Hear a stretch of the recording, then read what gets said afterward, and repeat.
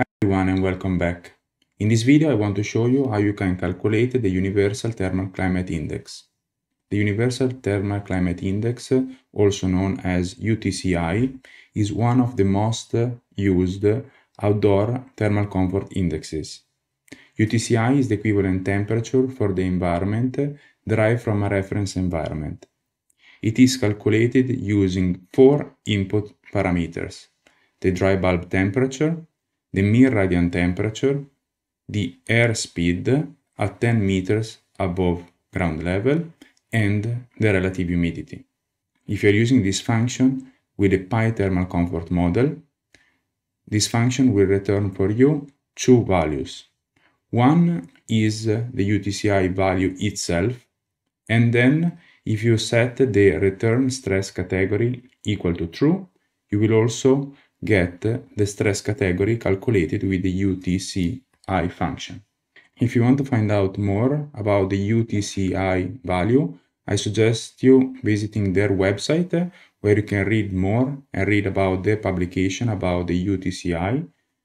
Alternatively, you can also consult the PyThermal Comfort official documentation. When you're using PyThermal Comfort, always refer and always check in the overview which version we have released and also check the change log. This allows you to check all the things that we have changes in our package, what we have done, and if you have fixed any issues. Today I'm going to show you an example of how you can calculate the UTCI using PyThermal Comfort, and I will also show you a couple of more things. So here in the examples, you can click here, examples, and you will be redirected to GitHub, in which we have all the examples that I'm going to show you today, as well as other examples on how to calculate other thermal comfort indexes. So let's now move to PyCharm, which is uh, my IDE that I use to run my Python code, and I will show you how to use the UTCI function. So the first thing that you need to do is to check that you have PyThermal Comfort installed on your computer. So you can open your terminal and say pip install pythermal comfort and then press enter. This will install pythermal comfort locally on your computer. The requirements are already satisfied in my computer because I've already pythermal comfort installed, so I don't have to install it again. So everything is fine and I can start running the code. So the first thing that we need to do is to run all these import functions on uh, uh, locally on our machine. So then we import uh, the UTCI function from the PyThermal comfort models, we import NumPy, and we import time. If I can run line by line here on uh, PyCharm using the command Shift Alt E. Then I import time, and let's see how we can use the UTCI function. So we have to pass the dry bulb air temperature, the mean radiant temperature, the air speed, and the relative humidity. We pass these as inputs into the UTCI function, and then we get the results. One important thing that we have changed in version 2.01 that was released in April 2022 and is the version that I'm currently using is that now if you pass a input that is outside the standard applicability limits, for instance, 60 is outside the standard applicability limits, then you're going to get an NumPy NAN as a result. As you can see here, we're getting NAN. Of course, you can change that and you can pass limit inputs equal to false. In this case, you're going to get a value irrespectively. I strongly discourage you to do that because, as you will see in this example, if I put a dry bulb air temperature of 60, then the model collapses completely and we don't get a result that is actually meaningful. If you want to find out the uh, function applicability limits, so you can go back here to the PyThermal Comfort documentation, clicks on function documentation, and then search for UTCI, and then and then here you see the model limits. Let's see the next example that I want to show you. I want to show you how to calculate the UTCI using imperial units. In order to do that, you just have to pass an additional input, which is units equal to IP. By default, this value is set to SI. So let me run this line of code and let me print the result for you. Below I have an example on how to calculate the UTCI by passing a list or an NumPy array as an input. Before I show you how to calculate the UTCI if you pass one single value, but in most cases you will want to pass an array of values because you want to calculate the UTCI for all those values. And later on I will show you a few more examples which are very nice and interesting and better explain this problem. But let's say that you have uh, data from a weather station or uh, you have data from an EPW file, which is an energy plus weather file, and you want to calculate the UTCI Ideally, you don't want to loop through all the inputs and then pass the input one by one to the function.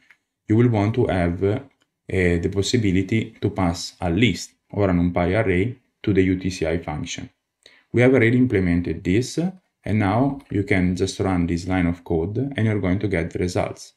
As you can see here, we are passing a list of inputs, so where we have different dry bulb air temperature, different mean radiant temperature, airspeed, and relative humidity, and we get an array of results. If you want to, you can also set the return stress category equal to true, and in this case, you're going to get a slightly different result because here we're going to get a dictionary, where the first element of the dictionary is the UTCI value, and the second is the stress category. If you want to access the UTCI value, you can just say UTCI val and then open square braces and then say UTCI. This is going to return the UTCI values.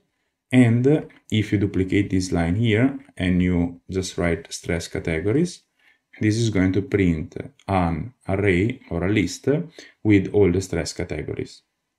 Finally, I want to show you also how fast is the UTCI function inside PyThermal Comfort. So here I'm running 100,000 iterations so I'm building a NumPy array with this command here.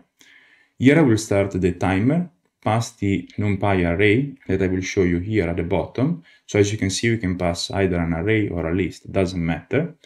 We pass this array inside the UTCI function, we calculate, we stop the timer, and we print the time it took to perform the calculation.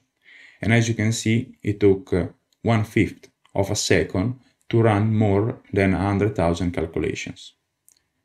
Please keep in mind that, as we saw before, we can pass arrays or a combination of arrays and single values, single floats, or integers to the function.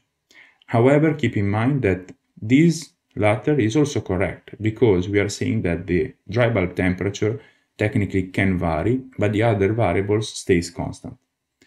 However, if you pass list, as we did here, you need to make sure that all the lists have the same length. Let me show you an example which will throw an error. So I'm passing the relative humidity, which is a list of length 2, while the other one have list of length 3. And as you can see here, we're getting an error. We're getting an error because the function doesn't know what to do. If you have only one single value, is considered that as a constant that will not vary throughout uh, your calculation. But if you have list of uh, non-matching length, then this is going to be a problem. So this is enough to learn and to know how to use UTCI, but I just want to show you a couple of more examples because I think they are a bit more visual and much easier to, uh, much nicer to see. So I just want to show them to show you also how you can use the UTCI function inside your application. Two things that I would like to show you are the CBE thermal comfort tool here, where we are using uh, the UTCI function from inside the PyThermal Comfort to create these beautiful heat maps in our tool. So the CBE climate tool allows you to select a weather file from many locations across the world. So here you can click on any of these locations and then this is going to import this EPW file inside the Clima application. And then you can click on outdoor comfort. And for instance, we are using the UTCI to generate these beautiful charts. So if you want in your paper, you can generate something similar. Here you have one data point for every hour of the day. And then we're plotting these on a heat map, or you could have also plotted using a line chart. Another very beautiful example that Lars has uploaded here on the PyThermal Comfort documentation is this one. Here we're going to use the UTCI function to plot the data across a world map. So here we are, uh, I'm using uh, actually a Google Colab just to show you that uh, if you want, you can run PyThermal Comfort, of course, locally, but also you can run it on Google Colab. Here we have uh, a slightly a bit more complicated installation process here because you have to install a lot of packages just to use CartoPy. And CartoPy is the Python li library that we're going to use to plot these beautiful charts. So here we have to install all the packages, which I will not run this line again, just because it takes a bit of time but uh, you can just uh, copy this code if you want to. And uh, we have provided the, the code in the documentation. So if you go here examples you can go examples here. And then you can go in climate model uh, dash input. Here you will find the instruction on how to run this locally but I had to add a couple of more things uh, just to run it in Google Colab then we import uh, the UTCI, the models uh, from PyThermal Comfort. Here in this example, we're just importing all the models. And then later here, we're going to use just the UTCI function. We import xarray, which is something similar to pandas. Don't worry too much about this. And then uh, here we are importing and getting all data. In this example, Lars has assumed that the mean radiant temperature is equal to the dry bulb air temperature we wrap this function into uh, a xUTCI function just so we keep all the information about the latitude and the longitude. And then here we can run this function. As you can see, to run all these um, val all this calculation, it only took 2.2 seconds. Finally, we plot the results using this code here. So basically we just define a figure and its size. We define the type of map that we want. We create the projection on the axis. We draw the grid lines and we specify the range of latitude and longitude where to draw the grid lines. We draw here the coast lines and then we select the data for a specific month and then we plot this data on this map. Alternatively, Lars has also shown as an example on how to group the data by season, calculate the mean value, and then plot all the four figures inside one as subfigures. As we did before, we flatten the axis, we um, define the coastline resolution to 50 meters because here we need a lower resolution than before, and then we add the grid lines. I really hope you find this uh, example informative. If you did, please consider liking the video. If you have any question, please feel free to leave a comment below. However, if you have uh, and if you find any issues with PyThermal Comfort, go to Issues here, and then you can open a new issue and you can let us know what issue did you face or which feature you would like us to add to PyThermal Comfort.